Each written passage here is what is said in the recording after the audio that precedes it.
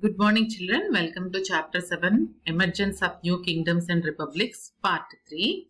In previous videos we discussed about Mahajanapadas and how do we know about those Mahajanapadas, those sources we discussed.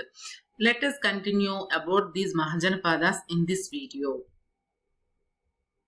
Cities of Mahajanapadas. Cities of those times were mainly inhabited by poor workers. That means in the cities so many poor workers they used to live. Some of them were slaves and servants while most of them were craftspersons who made goods for sale. So in those poor workers some slaves, servants and most of the craftspersons. So what they will do? They make the craft. Okay and those things they sell and they can earn. Like that, there were also innumerable other kinds of professionals like soldiers, accountants, masons, horse trainers, sweepers, water carriers, wood and ivory carvers. These people also live in the cities. Of all the things made by craftsmen, only a few articles like pots, bricks, iron and copper objects have been excavated. So, all not all items, some articles during the excavations, those archaeologists archaeologists they got some objects what are those pots bricks iron and copper objects we also know about them from books written in those times okay this information all we got from some books also written in that time there were great traders who purchased the produce of the crafts, persons and grihapatis and sold them in distant lands at a huge profits. Yet there were great traders. Trader means business people who buy and sell the things. Those are called as traders. These traders, they purchased the produce of the craft person and grihapatis.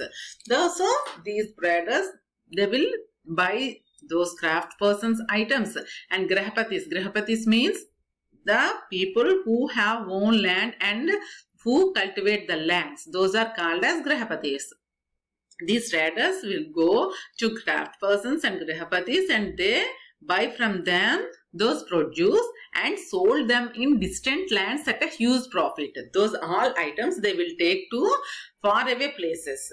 And there they will sell with a, at a huge profit. That means they will add more price then they will sell there. Like that they can earn more profit.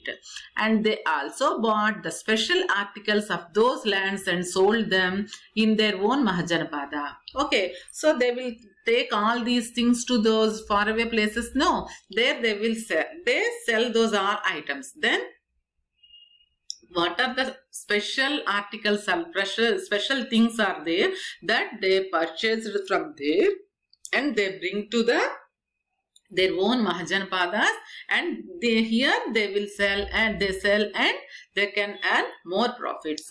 They took their merchandise in caravans with a large number of animals like oxen, donkeys and camels. So these all the items how they can take like in a present day there was no means of transport like lorries, trucks like that tractors. So that's why those people they used it to take these all items in the caravans with a large number of animals which were pulled by the oxen, donkeys, camels like that and they used it to take those things. They traveled day and night for weeks and months across rivers, plains, hills and deserts.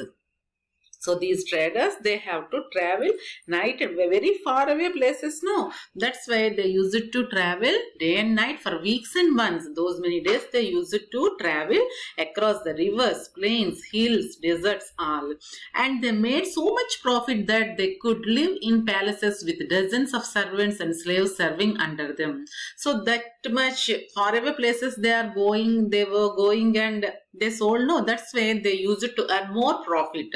That's why they use it to live in palaces with dozens of servants and slaves serving under them. Now kings, army and taxes. Most of the Mahajanapadas were ruled by kings. The kings commanded and led their armies in battle. Okay, so these Mahajanapadas were ruled by the kings and those kings also had so many people, the, the soldiers. Okay, Armies means soldiers. They took personal interest in the welfare of their people. Yajnas and animal sacrifices became very important during the period. Those kings they used to perform yajnas and those people they used to do animal sacrifice also during this period. Now army. Those kings had an army of their own to ensure that people followed their orders and to make sure that no other king attacked their kingdom. These kings they used to had an army. Okay, army means soldiers. For what? To ensure that people followed their orders. That means what king is saying that all the people are listening or not, they are obeying or not. That all how the king can do king can king can see those all they can control with the help of these soldiers. And to make sure that no other king attacked their kingdom any other king came and attack also they can fight with the help of this army that means soldiers. That's why they had an army also. They lived in capital cities and tried to build strong forts those kings they used to live in capital cities and they tried to build strong forts. Big big forts they used it to strong forts they used it to construct. All this required a lot of money to construct the forts and if, uh, to look after this army to give um, wages to the army. That all the king need more money. That's why the soldiers and their families had to be provided for the brick makers who made lakhs of bricks had to be paid for and thousands of men and women who worked to construct these public buildings had to be paid wages. So for these people all the kings they have to pay something. So that's why always the kings require a lot of money. So how the king can get money we will discuss. Now see this is the image of fort. Okay so the fort of Kausambi city. So how they constructed, see this is the fort. So nobody can enter into the particular palace of the king. Like that they constructed their forts like that. Those kings they used to construct the forts like that. For this so many bricks will be needed and so many workers they have to work to construct this. That all the kings need money. Now taxes. How the king kings get money see. The kings collected taxes from the people. They had officers who would collect taxes from the grihapatis the craftsmen and traders. Okay the kings they have to collect the taxes from the people. So the king only can go to all the people and he can collect the taxes. No that's why some officers they use it to appoint. Those officers they will go and collect the taxes from the grihapatis. Grihapatis means the people who have own land and cultivate their lands. Those are called as grahapatis. The craft persons also craftsmen also and the traders who are doing the business. From them all these officers collect the taxes. If anyone if anyone refuses to pay taxes they could be punished by the soldiers of the king. If anybody okay i won't pay the tax like that anybody refuses to pay the tax then those people could be punished by the soldiers of the king officers and army were employees of the king. Okay, these officers in and army, army means soldiers.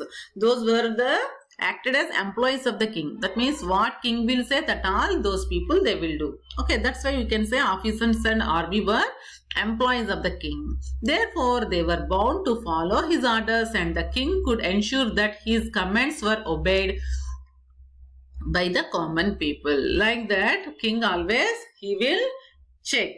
All the people are common people are following or obeying his commands his orders or not. He can check with the help of these employees.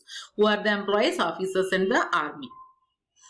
Many kings wanted to be more powerful and wealthy. So always kings think those kings think about what they want to get more and more wealthy. Like that they want to get so much power also. For that they could do this in two ways. What they are doing see first one by increasing the taxes imposed on the people. Like that also they can collect more and more money and they can they become wealthy. And other by conquering neighboring kingdoms. Conquering neighboring kingdoms means they will occupy those other kingdoms by doing battles or wars. Like that also they can get more powerful and wealthy. The kings began to collect regular taxes from the Grahapatis who cultivated the land. Okay, so they will collect regularly regular taxes from the Grahapatis who cultivated the land. The Grahapatis had to divide their crops into six equal parts and give one part to the king. So the Grahapatis who are doing the agriculture what they will get from that cultivation that all the produce they have to divide into six equal parts.